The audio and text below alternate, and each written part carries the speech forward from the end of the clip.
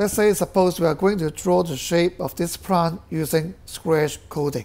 And we can see that the leaves at the top are always smaller than the leaves at the bottom. And suppose we also simplify the shape of the plant in this way. And now can you see the repeating pattern of this shape? And by repeating pattern, we means the largest possible shape after duplication can produce the whole shape. And it is clear that this down arrow is the repeating pattern. So now let's look closely at this pattern and see how can we draw it in Scratch. Now suppose the cat is originally located at this position and pointing upwards. And let's assume these two angles are both 60 degrees. And the lengths of these sides are all 100 steps.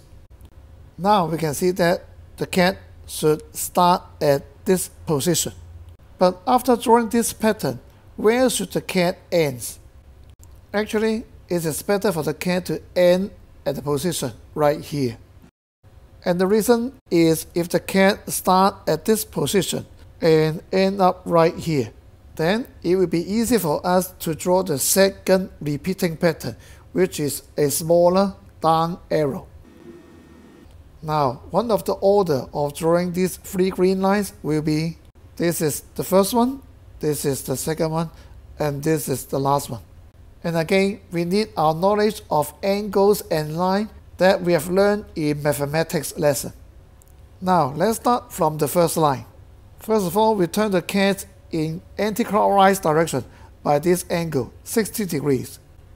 So this is our first step and then we move the can along this direction by 100 steps. Now we have drawn the first line, and to draw the second line, we have to move the can back to the starting position. Of course, we can rotate the can by 180 degrees and then move forward by 100 steps to go back to the starting position. But actually, we don't need two steps to finish this. Remember, we have learned the concept of directed numbers in mathematics. So if we move by negative 100 steps, the cat will go back to the starting position.